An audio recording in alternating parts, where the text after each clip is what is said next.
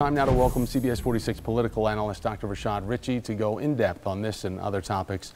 Uh, so it's great to have you here, Rashad. And just one thing, we know that David Perdue, Georgia senator, has spoken out on this. Uh, he's quoted as saying it's outrageous to call the tweets racist. Also, we have Johnny Isakson, who over the last couple of hours has tweeted seven times, none of which is a statement condemning or supporting the president, at least not yet. But when it comes to the grand scheme of things, does this congressional vote mean anything? Does it have any teeth? It doesn't mean a damn thing. Next question. Keep in mind, this political atmosphere will not allow the needle to move one way or the other. They have been calling President Trump racist before he became president. It did not stick to him then. Mm -hmm. It will not stick to him now. I understand why Democrats have to do this. They must do what their party demands, which is an actual resolution and a public denouncing of what he said, because mm-hmm. the tweet was racist at face value. He's trying to provide some context to it. I don't think it's working for independents, and it's definitely not working for Democrats. Meanwhile, the president will definitely. Uh, raise his attention if he sees his poll numbers drop. His poll numbers did drop after Charlottesville. His poll no numbers did drop after the S-hole countries comment. Yeah. Uh, so is this really going to be how we get his attention if the poll numbers drop?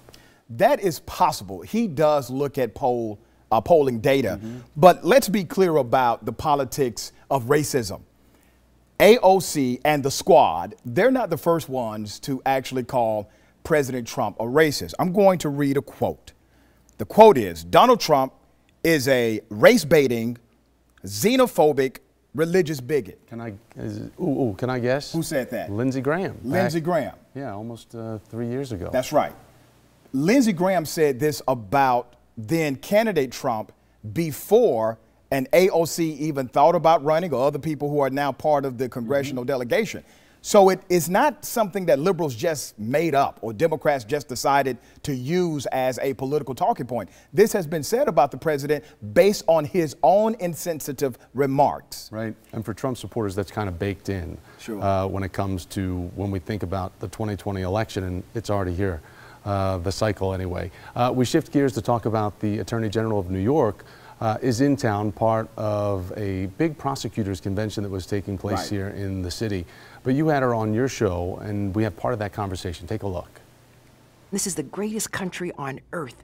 And that, those are the messages that we should be bringing and, and telling individuals in our country, as opposed to go back to your country and that African countries are A countries and, um, and just spreading, spewing hate. Yeah. That's not what we represent, and that's not who we are as Americans.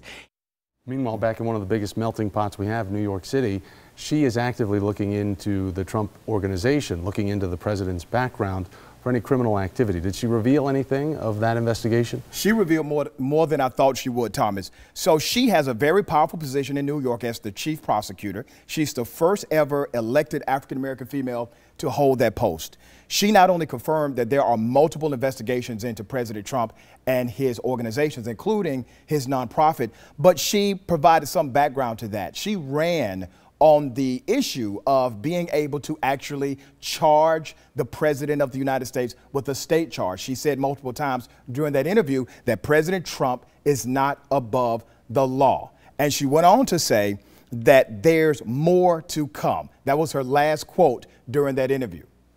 What a tease, right? Yeah. Stay tuned. Exactly. All right, Rashad. Thank you, sir. Thank you, As man. always, we appreciate it.